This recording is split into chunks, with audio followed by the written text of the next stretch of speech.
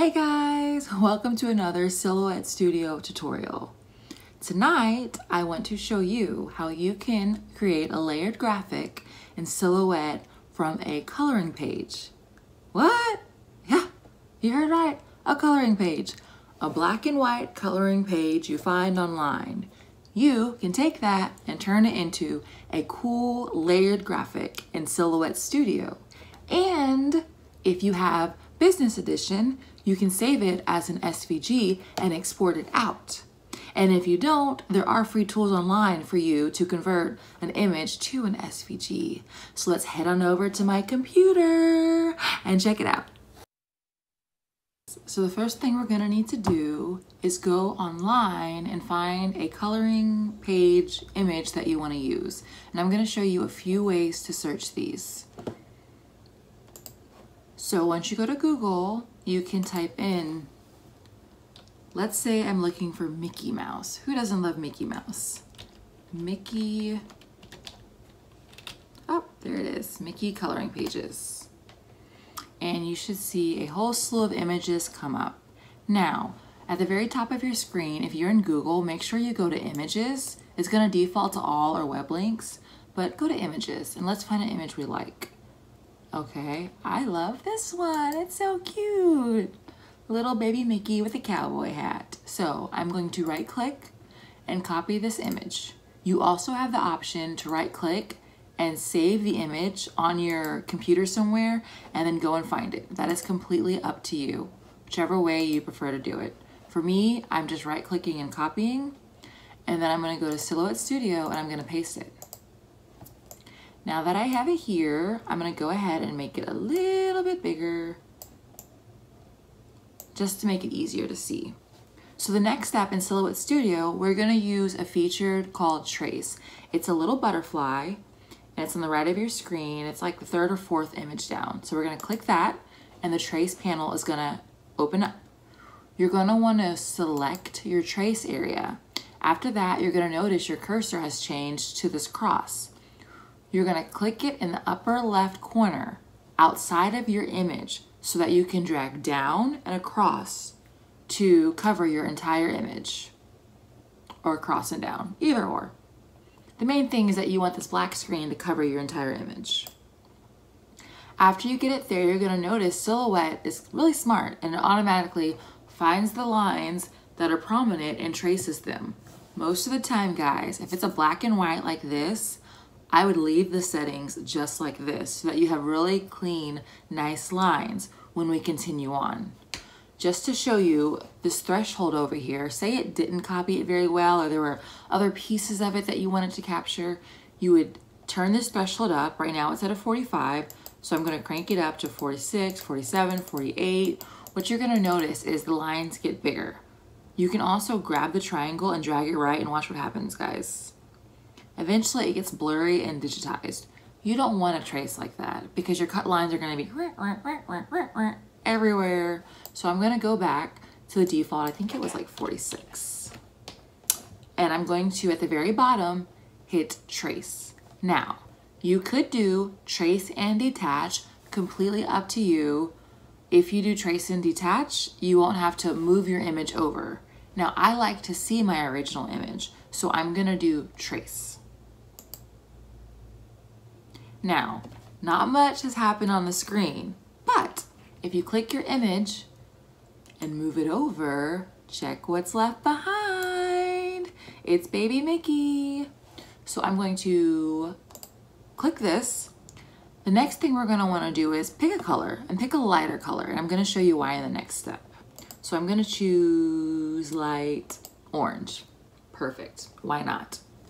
Okay, we're going to with Mickey selected, you can either right click and do release compound path, or you can go over to your menu on the side.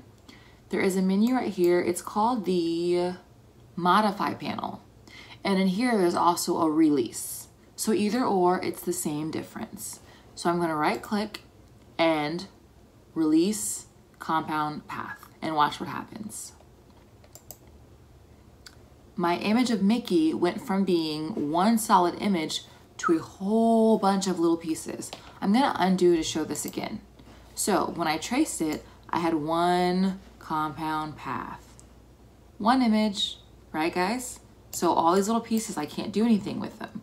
But when I release compound path, watch what happens. I have a whole bunch of pieces. All those little squares represent a different piece that's selected right now. So watch what happens. I can take the top of his hat and move it off. It's his own piece. Can you see how the layers are gonna come together? Okay, the next thing you're gonna wanna do, I'm actually gonna undo so I can get it back in the right place. Okay, perfect. The next thing you're gonna wanna do is grab the backmost piece, and you don't have to do it in this order, but I do it because it makes it easy for me to see. So I'm gonna grab his ear, and I'm gonna make it black. And now look at that, guys. You can really see our layered graphics starting to come together. So of course, his nose should be black. So now I'm gonna go ahead and make that black by clicking it. His eyes would be white. So I'm gonna click on his eyes and make it white. Sometimes it's helpful to use your zoom feature as well because they're little pieces. Let me show you what's hiding down here. See that little bit of his eye right there? I'm gonna make that white. There we go. And I'm gonna go ahead and make the hat brown.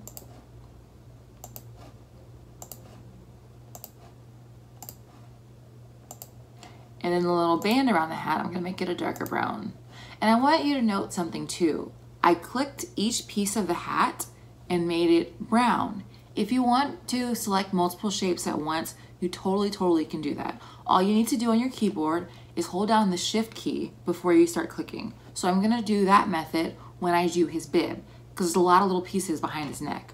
So I'm gonna hold down shift and I'm gonna click this piece, this little piece, the little tail, and the little knot and this round part hanging down on his bib. And I'm gonna go ahead and I'm going to make that blue.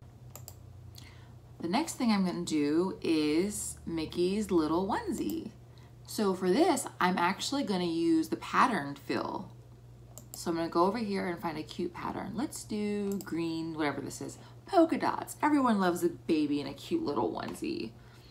And then I'm gonna make his, the inside of his bib, let's go with a solid green, yellow, orange. Let's go with a solid orange, guys.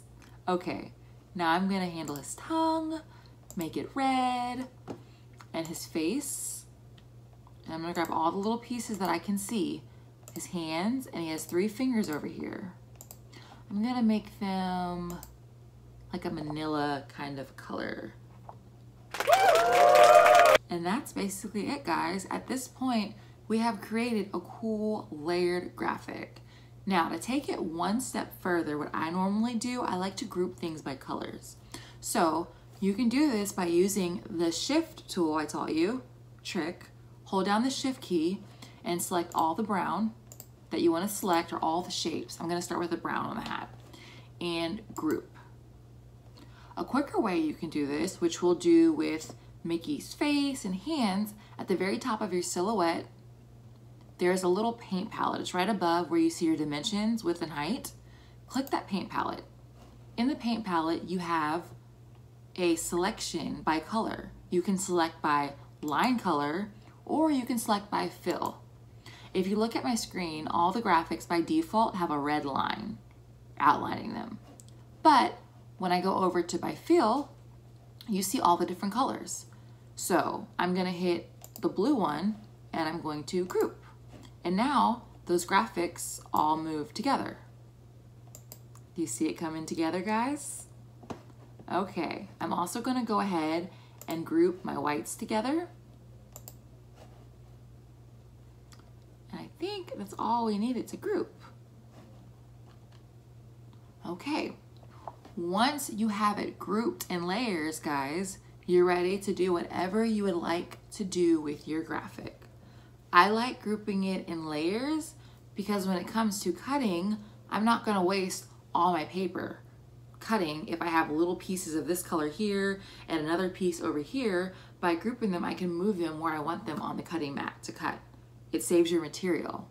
Also, if you are going to export this as an SVG if you have the business software and you plan on cutting with your Cricut machine, so importing this and into Cricut Design, make sure that you group first your colors and then also do one final group of everything at the end. If you don't, what happens in Cricut Design, your pieces can be jumbled. I've seen this happen. There have been times when I've created cool text graphics, sent it to someone, they went to cut it in their Cricut design space, and they're like, why are the letters everywhere? And I was like, oh, that's why. I need to group and or make compound paths of things. Well, that's pretty much it, guys. What did you think? Pretty neat, right? And actually, I got something to show you. These I created using the exact same method. They're kind of hard to see in this lighting, so I will definitely post the picture. But I had a birthday party for my little one when she was two, and we did a Mickey Mouse theme. And so I used scrapbook paper for Minnie's dress and cardstock for all the fun images like the bow and the ice cream. And then for Mickey, cardstock, and his pants are actually red and white cardstock pieced together. So you can see how I took a coloring page, used my software to convert it into a layered graphic, and then cut it out in different colors to make these cool party decorations. The sky is the limit with Silhouette Studio. I hope you liked the video and learned something. Please subscribe, please like, please share, and in the comments, let me know what else you would like to know how to do in Silhouette Studio.